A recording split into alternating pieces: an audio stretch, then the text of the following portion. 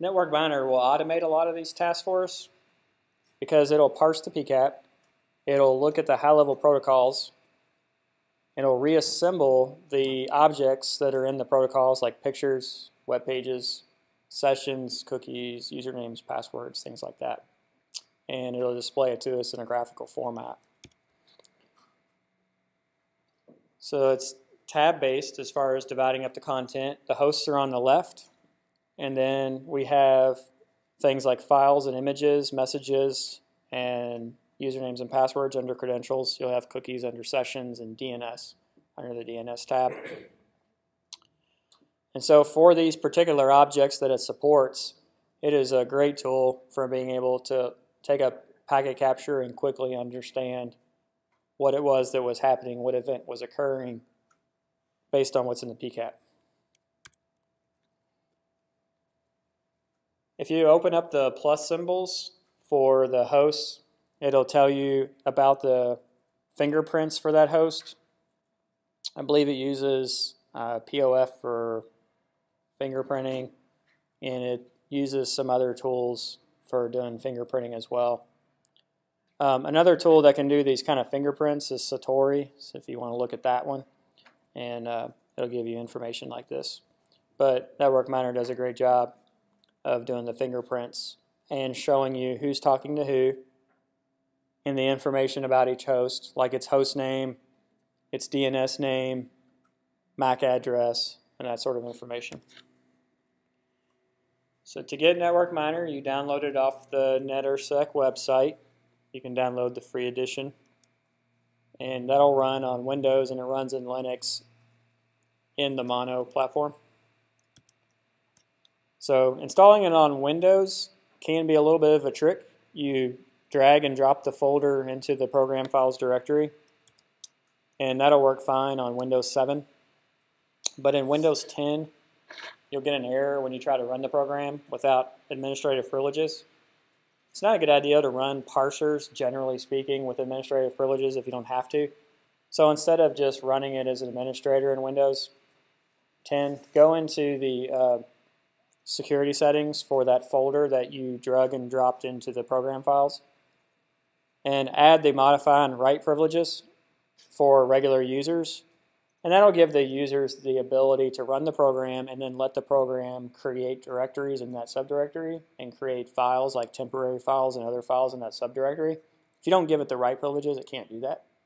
And uh, then it won't be able to create all those little temporary files and all those images and carve them all out.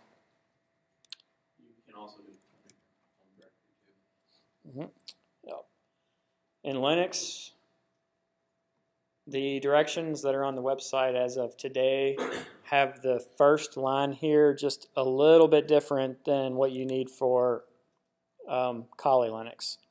So for Debian-based systems, you need this libmono system Windows Forms 4 and um, just to allow the mono software to display Windows Forms, which is what Network Miner runs inside of. But otherwise, you just download the software from the from the website, unzip it.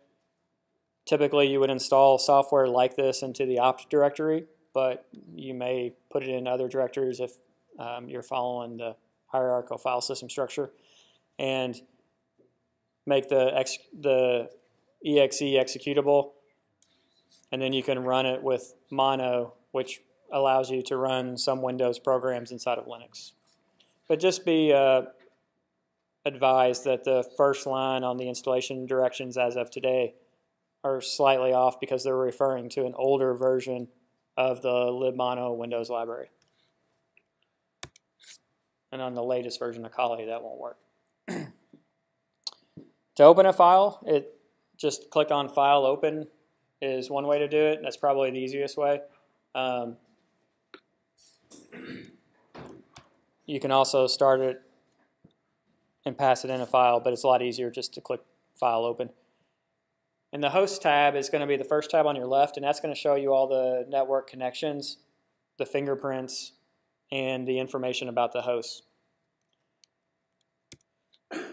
It'll automatically try to carve out the different kinds of files so these will be things like Word documents and other types of files. Emails would be another example of a file. The attachments of the emails themselves, um, it can also grab.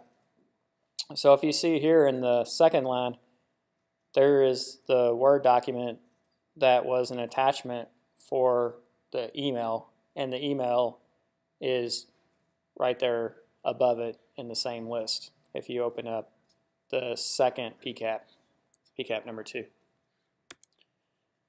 It actually saves these files out to your hard drive under that directory, which is the reason we had to give it write privileges to be able to write these files.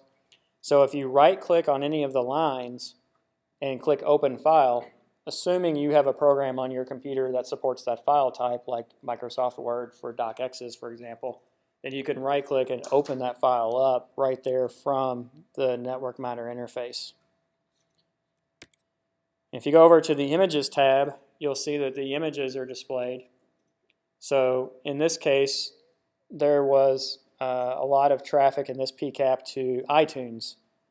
And when the user was looking at iTunes, they were seeing the thumbnails for the different movies and so forth that were in that stream.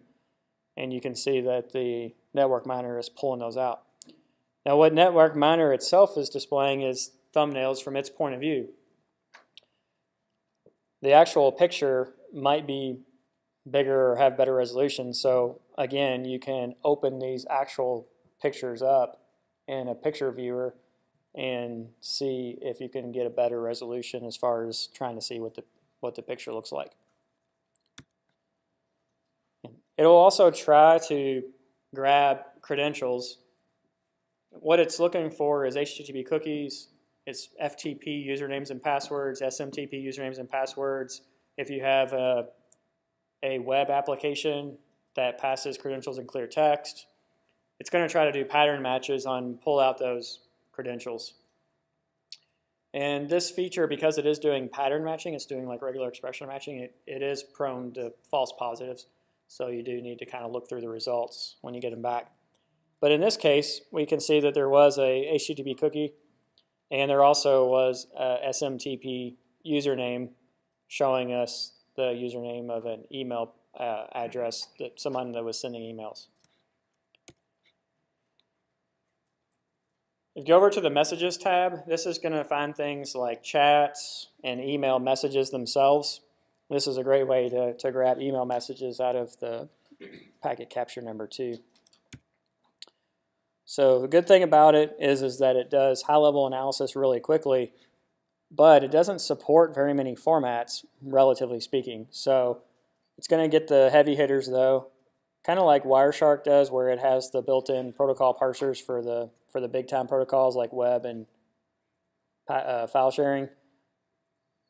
Network Miner actually has even a few more than that for the higher level protocols.